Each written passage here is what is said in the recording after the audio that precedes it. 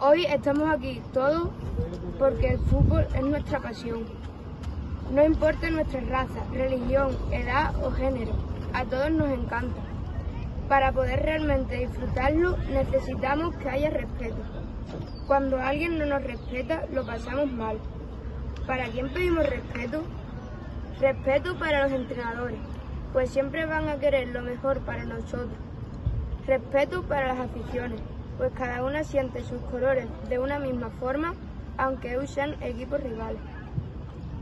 Respeto para el equipo contrario, pues tienen la misma ilusión por jugar que nosotros. Respeto para nuestro propio equipo y nosotros mismos, pues nadie quiere fallar un pase o un penalti a posta. Y por último, respeto para los árbitros, pues del mismo modo que vosotros os equivocáis a posta.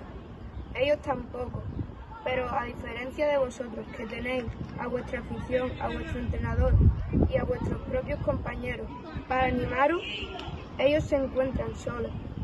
Por eso os pedimos que os pongáis en su lugar y que siempre lo tratéis con respeto.